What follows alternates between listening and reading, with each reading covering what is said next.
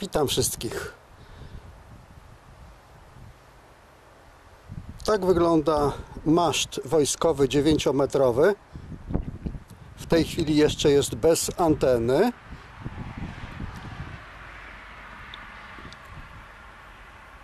Ponieważ rozkładałem odciągi do masztu antenowego, tak aby można było postawić ten maszt gdzieś na polu nawet i aby nie trzeba było żadnych mocowań więcej do masztu. Jedynie maszt powinien stać na odciągach. Na dwóch poziomach odciągi są zamontowane, natomiast jak widać ostro szykuję się na łączności 13 maja i prawdopodobnie będę te łączności przeprowadzał z okolic Wyszkowa. Także jeśli ktoś jest chętny, to zapraszam do łączności. Y, Oczywiście nie będę nadawał z tego masztu, to jest jedynie taki maszt polowy.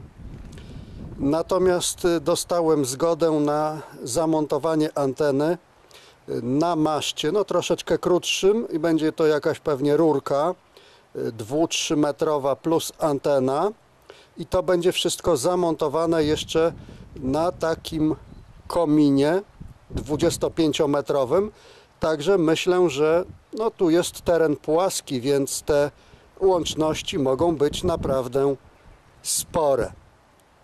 No tak to wygląda w tej chwili.